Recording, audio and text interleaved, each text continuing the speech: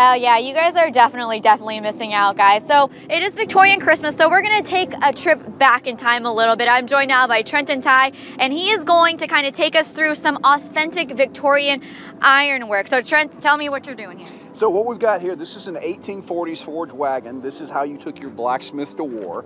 Uh, but like this wagon was used up to, to uh, about World War One. And what happens is it houses this guy right here. It's called a bellows, and it blows air into this portion right up here, which is a coal fire, and it makes steel very hot.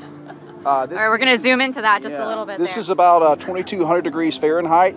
Uh, when you touch it to pretty much anything, it catches fire. Yeah, I'm stepping back. You guys can see I'm stepping back when he does that. so what we're going to do real quick is I'm actually going to show you how a blacksmith works steel. We're going to make a point and a hook on the end of this bar. Okay. So let me bring it up to heat and then we're going to run over to the anvil and uh, pound on some metal. All right. All right. All right. So what would this hook be back in the Victorian ages? Uh, if you notice, your old cast iron always has a bail, has a handle, and so you didn't have a uh, control a control knob on the fire to turn up the heat, right? Okay. But if you were cooking, you wanted more heat, you could lower the pot. So you put that hook between the bail and the pot. Pot goes down, heat goes up. All right. All right. All right. Let's uh, scramble. Move out of the way. If you get on fire, it's it's okay. All right, it's okay.